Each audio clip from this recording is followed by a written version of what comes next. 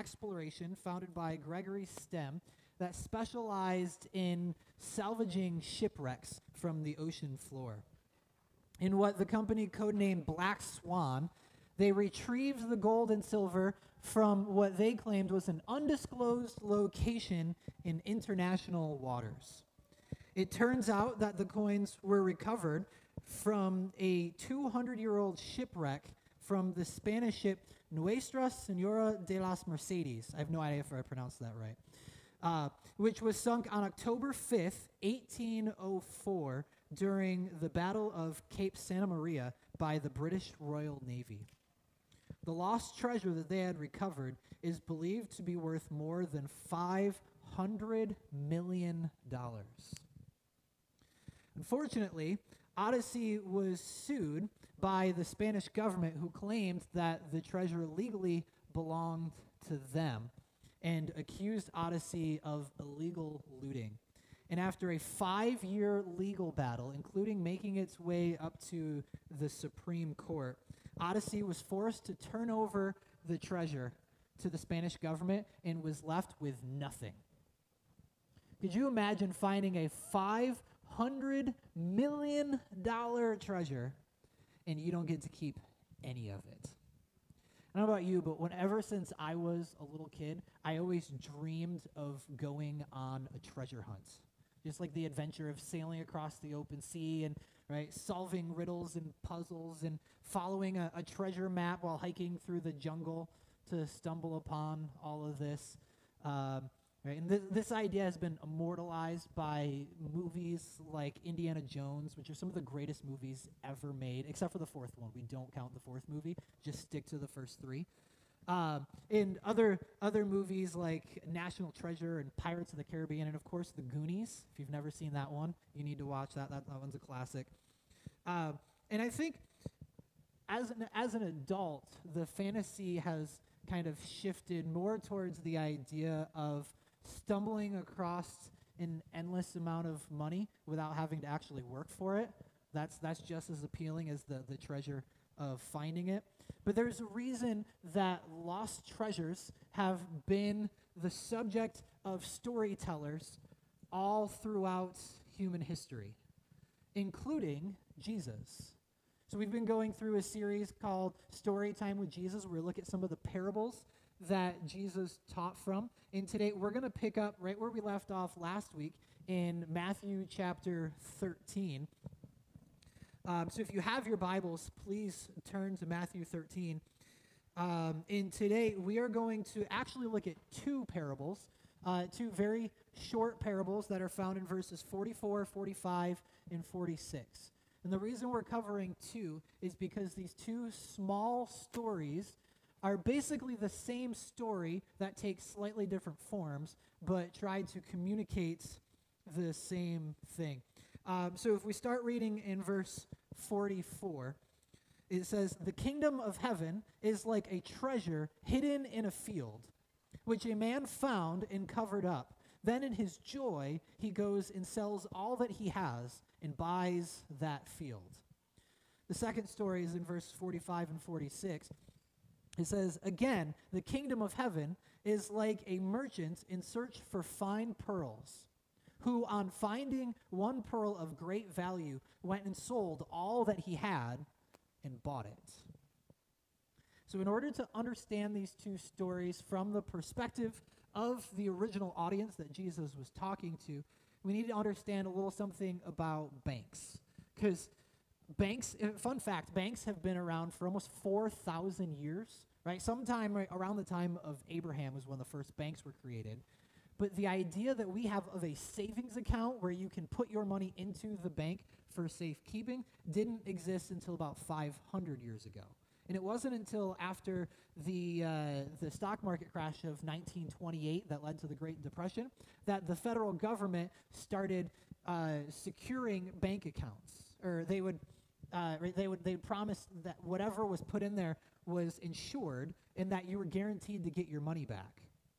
So, for all of human history, there has always been people that are willing to lend you money if it means that they get to make money off of the interest, right? That's about as old as civilization is. But for people in the first century, they had no idea of the concept of a savings account, of, of putting money into the bank to keep it. So if you were a person that had some wealth and you wanted to keep that money safe and you couldn't put it in the bank, so you really had two options. The first is what we see in verse 44, where they would literally just bury their treasure in the ground. It was a common practice back then that if you wanted to keep your money safe, you would just dig a hole and put it in the ground and cover it back up, or maybe you'd find a cave or something. But the idea is you put it in a location that you can easily retrieve the money whenever you want, but no one else would be able to just stumble across it and find it. And obviously, there would be occasions where I guess somebody might potentially forget about it, but I don't know how you forget about where you bury treasure. But much more likely, people would die before ever having the chance to go back and retrieve their treasure to pass down to their children or whatever they wanted to do with it. And so it, it did actually happen all throughout history that people would just stumble across buried treasure. And so the man in this story, it says he was, uh, all it says is that he, f- or in, he found treasure hidden in a field. So this man was probably what we would call a tenant farmer, uh, meaning that he was a farmer, but he did not have any land of his own. So he would lease or rent a plot of land from a wealthier landowner, and then he would farm his crops, and then at harvest time, he would give a cut of the crops, or at least the proceed of the, co- the crops, to the landowner as payments for letting him use this man's land so he could feed his own family. And so while he was plowing this land, he stumbles across this treasure. But during Roman or under Roman law, um, finders keepers was not the law. If you found treasure on someone else's land, the landowner was the rightful owner of that treasure. And so if it got found out, they would force you to turn it over. Just like this company that found the $500 million in treasure, they had to give it all over. So what does this guy do? He puts the treasure back where he found it, puts the dirt down, and makes it look like nothing happens, and he doesn't tell anyone. And then it says, in his joy, he goes and sells all that he has and buys that field. Right? So he sells his belonging. He goes to the landlord and says, I'll give you an offer you can't refuse. And he purchases the field from the landowner. So now that treasure is legally his. Right? And so then you just wait a little bit so it's not too obvious. And oh, look, I just happened to stumble across this treasure that's worth far more than this land that I just bought. How lucky am I? Now, imagine that conversation with his wife when he got home.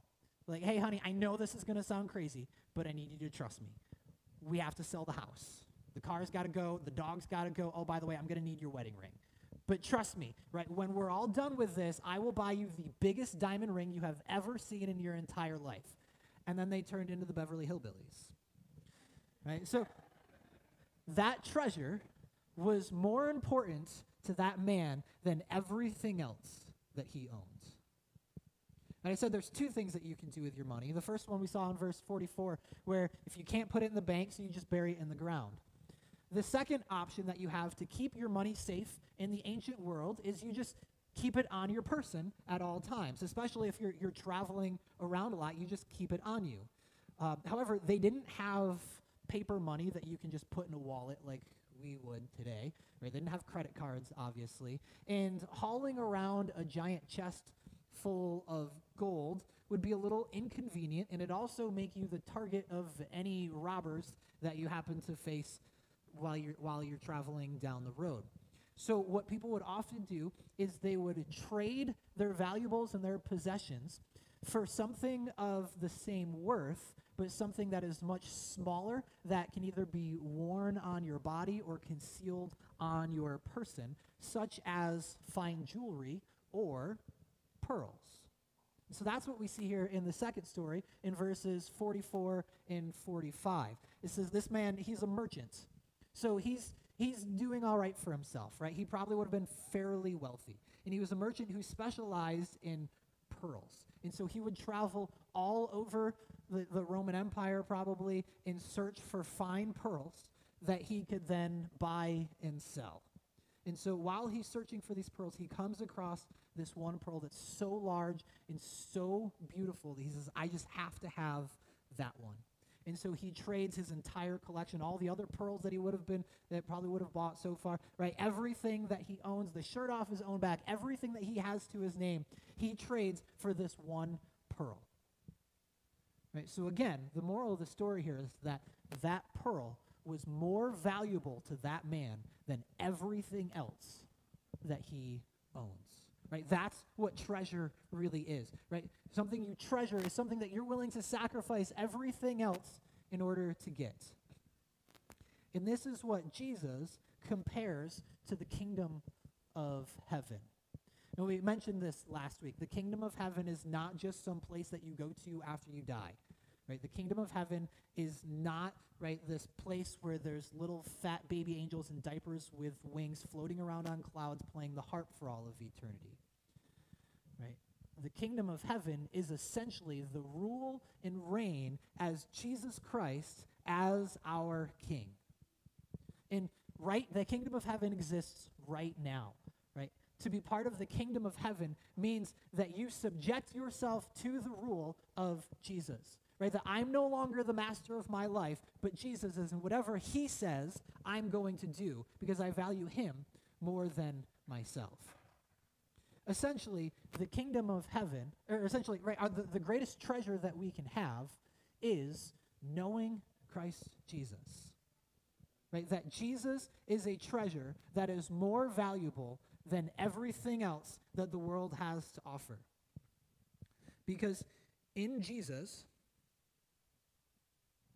there is more joy, there is more pleasure, there is more satisfaction, more comfort, security, and delight to be found in Christ than the sum of everything else that the world has to offer. The world's GDP, the gross domestic product, uh, which basically means if you take the, the economies of every nation in the world and you combine them together, is equal to $42 trillion. That's 42 with nine zeros after it. And Jesus is more valuable than all of that combined. I think one of the, the greatest pictures of really what it looks like to, to treasure Christ right? That we're willing to forego everything else in order to have him is the Apostle Paul. And he talks about this in Philippians chapter 3. Last year we walked verse by verse through the entire book of Philippians. Um, and we covered this section in quite detail, or in a lot of detail. Uh, but I want to read these verses again in Philippians 3 7 and 8. Right? Listen, listen to the, the attitude that Paul has towards Christ. He says, But whatever gain I had, I count it as loss for the sake of Christ. Indeed, I count everything as loss because of the surpassing worth of knowing Christ Jesus my Lord. For his sake, I have suffered the loss of all things and count them as rubbish. I love that word. We need to use rubbish more often. Right? In order that I might gain Christ. Now, if you know anything about Christ or about Paul's past, right, before he became a Christian, he was a Pharisee. He went by the name of Saul of Tarsus. And by every measure that you would define success by in the ancient world, especially for a Jewish man, Paul had reached all of that. He was highly educated. Uh, he would have been very financially stable in his job. He was well respected by everyone around him. Right? Paul had built a very good life for him, and he loved what he did. And then he encountered Jesus, and he was willing to throw all of that away in order to have Jesus. He walked away from his job as a Pharisee. He walked away from, from his society, from all of his friends, right? Everybody he knew turned his back on him. He took a, he took a, a second job as a tent maker, literally sewing tents in order to get enough money to uh, to be able to go on these missionary trips where he would travel around the world and preach the gospel to people who then would turn around and chase him out of the city. He was hunted, he was beaten, he was arrested, and ultimately he had his head chopped off because of what he taught about Jesus. And Paul says every bit of it was worth it And he would do it over and over and over again because of the surpassing or the surpassing worth of knowing Christ Jesus our Lord. Right? Simply having Jesus, having a relationship with Jesus is worth more than anything else that Paul could have gotten in his life.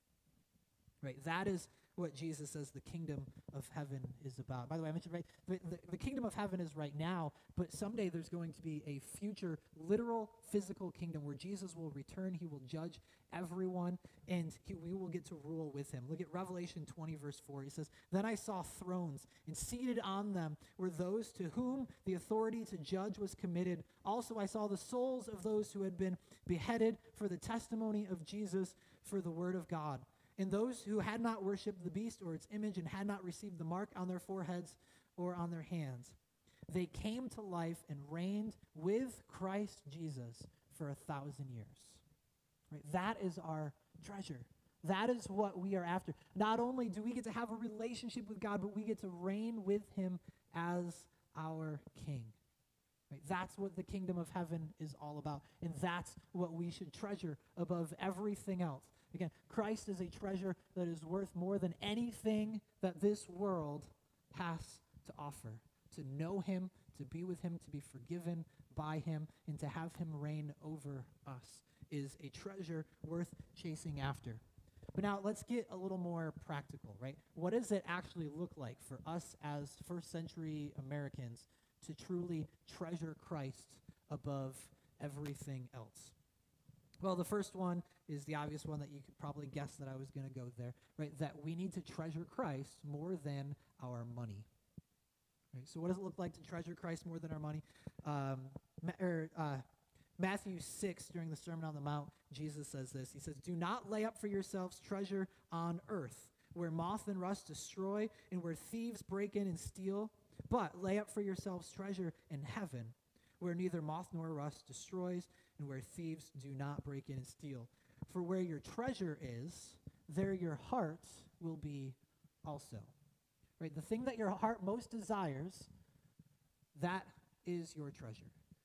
And for a lot of us, it's money. Um, but interesting enough, in the parallel passage in Luke, where he, Luke gives his account of Jesus telling the story, he starts, he, he says the same thing that is said in Matthew 6, but he starts by saying, Sell your possessions and give to the needy. One way to treasure Christ more than your money is to give it away. Lots of people have done this and have found great joy in doing so. However, giving away everything and living in poverty for Christ is not the only way that you can treasure Christ with your money. Right? To which everybody's like, Whew, oh, thanks. Right? But the, what this means, to treasure Christ more than our money, means that we have to shift our perspective on how we think about money. If money is the end goal, then that has become your treasure. Instead, as Christians, we need to view money as a tool that we can use to bring glory to God and to build up his kingdom. Right? We have to realize that your money doesn't belong to you. It belongs to God, and he has entrusted you to be a good steward to take care of that while you are here.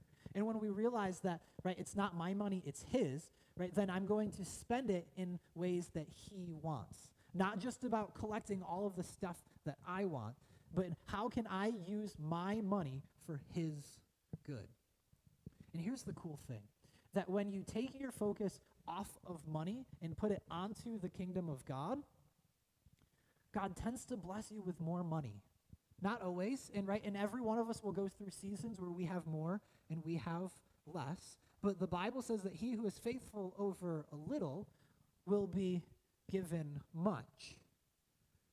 Right? But if your focus is only on money, why would God give you more money if he knows that that's the thing that's going to pull you away from him? Right? But we have to treasure Christ more than our money. Here's a tough one. How do we treasure Christ more than your spouse? You think, a lot of people like, oh, the most important thing to me is my wife or my husband. Right? And that, that, that, that's a good sentiment. But to, cre- or, but to treasure Christ more than your spouse means that Kirsten, my wife, is not the most important thing in my life. She's the second most important thing. right? But again, we have to shift our perspective on this. Because did you realize that when you get to heaven, you're not going to be married anymore? Right? Marriage is a contract that ends when one of you dies. Then you're, you're no longer in that marriage anymore, which means mar- marriage is a temporary thing that God has given us. Right? So my wife is not the most important thing to me, but my wife is a beautiful gift that God has given me in order to help shape me into a better man and a better follower of Jesus. And it's my responsibility as her husband to help shape her into a better follower of Jesus and a better woman. And together, as a team, we work together to help show our children what it looks like to be a better follower of Jesus. Right? That's how you treasure Christ more than your spouse. Right? And when you put that into perspective, when they become number two, you actually become a better husband and wife if than if you make them the most important thing. Because if you right, why, husbands and wives are a great blessing from God, but they make terrible gods themselves. If they become the objects of your worship, you're in trouble because they cannot live up to that expectation. Right? But when God is your treasure and they are right, a, a helpmate that God has given you to reach that treasure, then everything works much better. How about another one? Let's get this even harder, right? How do we treasure Christ more than our children? I've met a lot of people, mostly mothers, that, that actually at least will express this out loud. But I could never love anything more than my children. Here's the thing we're not asking you to stop loving your children, right? God never does that. But when we treasure Christ more than our children, once again, it puts our children into perspective on how we view them and how we are willing to raise them.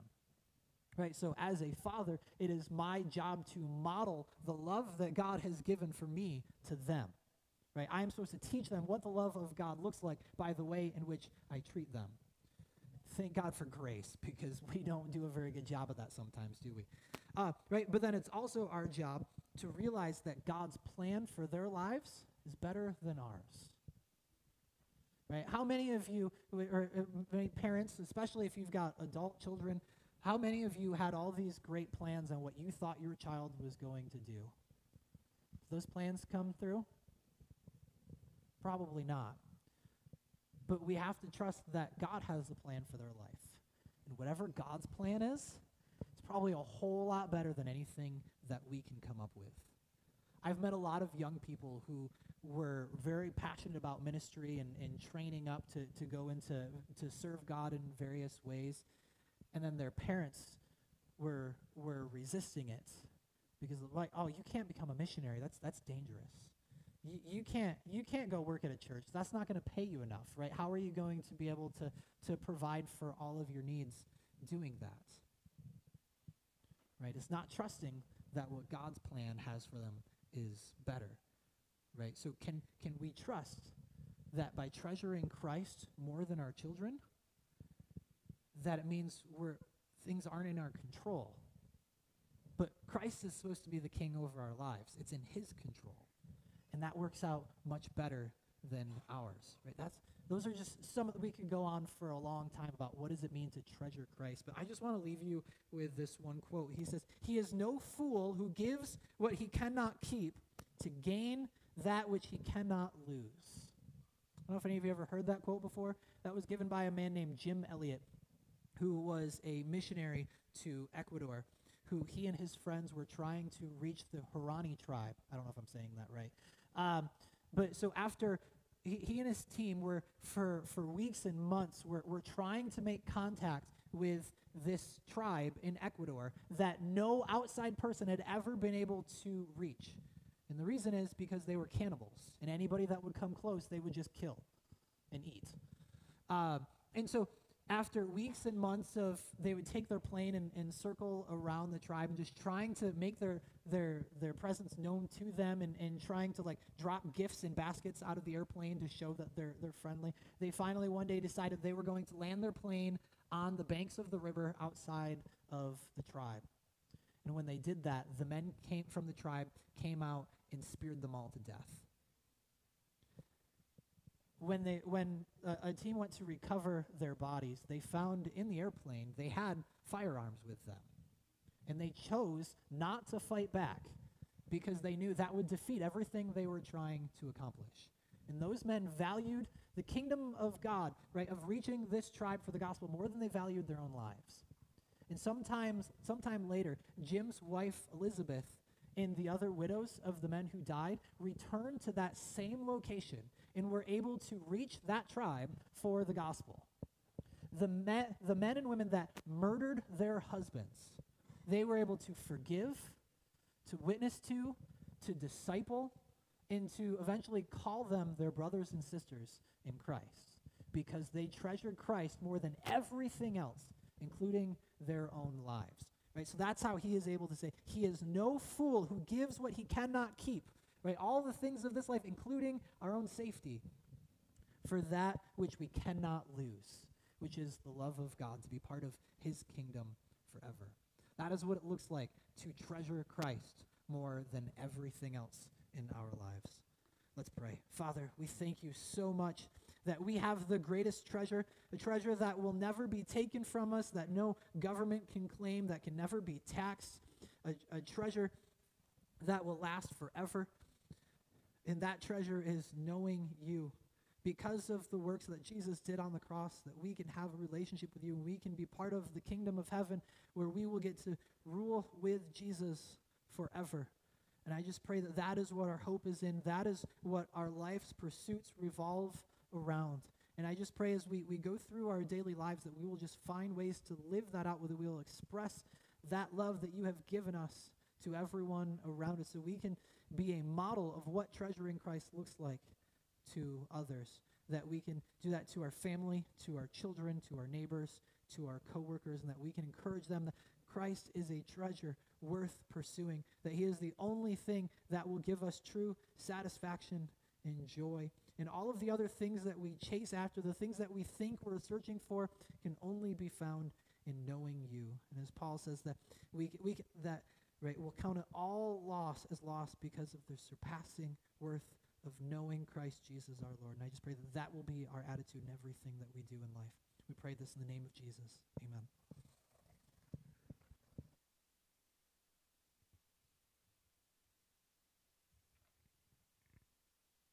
If you're able, please join us in standing as we sing our closing hymn, Cleanse Me. Search me, O God, and know my heart today.